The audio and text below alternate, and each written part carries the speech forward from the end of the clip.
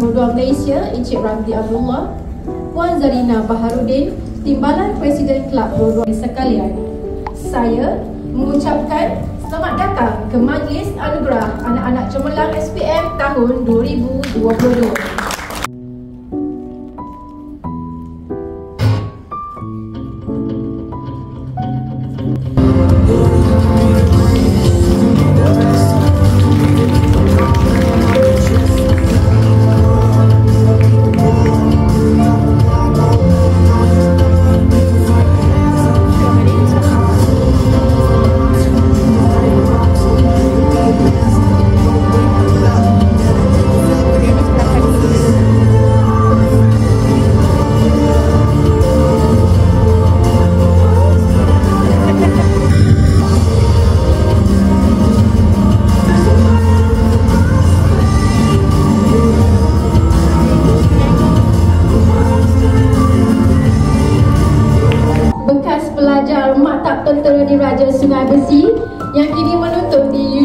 Pertahanan Nasional Malaysia dijemput anak cemerlang kepada Encik Safu Zahri bin Zainal Abidin adik Danish Emir bin Safu Zahri adik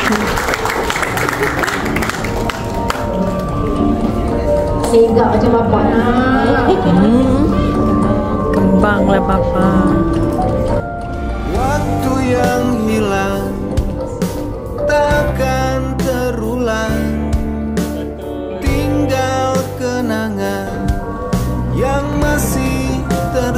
tersimpan Meskipun beri menoreh hati membuat luka. Oh ramai.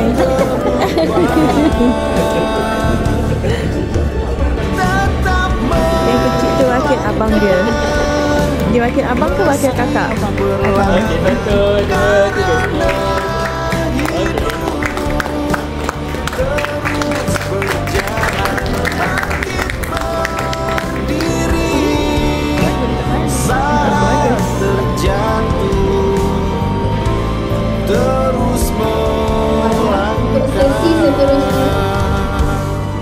Encik Muhammad Saiful Zaman Muhammad atau lebih dikenali dengan uh, Bos Sapak merupakan mantan Presiden Kelab Pro Malaysia untuk beberapa penggal. Uh, terima kasih banyak-banyak uh, kerana memberi saya kesempatan untuk berbicara sedikit pada hari ini.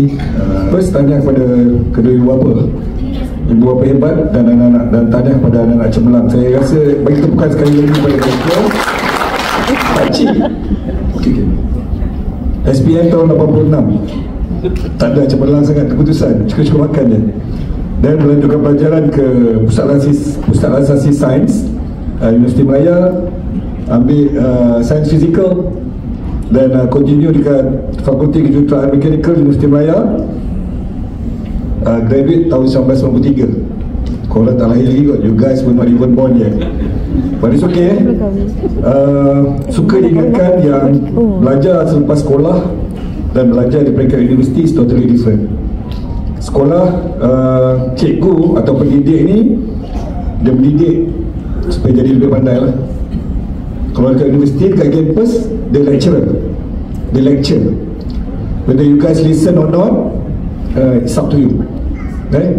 jadi uh, kalau nak datang kuliah ke kalau tak nak datang kuliah ke uh, credit hours dan sebagainya it's all on you kat sekolah harapan saya harapan mak bapak juga saya rasa masih ada anak yang masih tahun ni uh, tahun ni SPM eh? uh, SPM tahun ni dia pelik sikit uh, bulan 1 end of this month uh, dekat uh, SBPI uh, Sepintar dekat Rawang eh?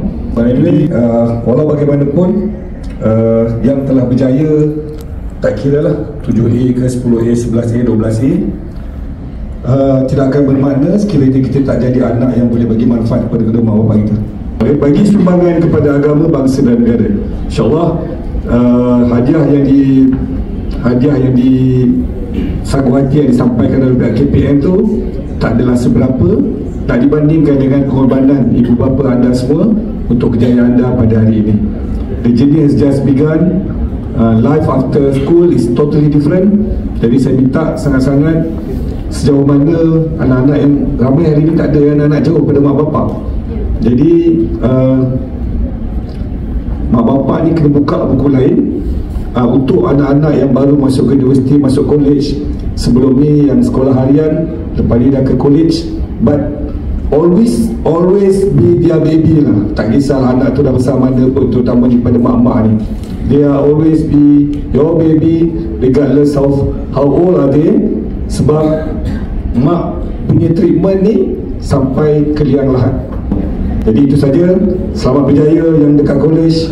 Uh, again, uh, make your parents proud dan cepat-cepat masuk ke, ke alam pekerjaan. It's going to be another different world. Wabillahi taufiq wal hidayah. Assalamualaikum warahmatullahi wabarakatuh. Terima kasih. Terima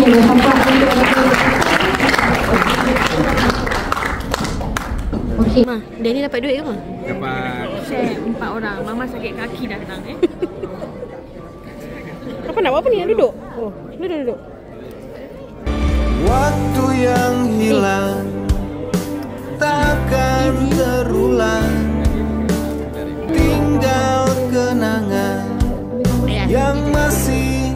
tersimpan Meskipun perih menoreh hati Membuat luka tak terlupa.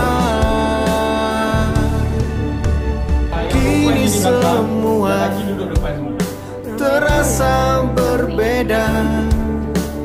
Tinggal cerita sun.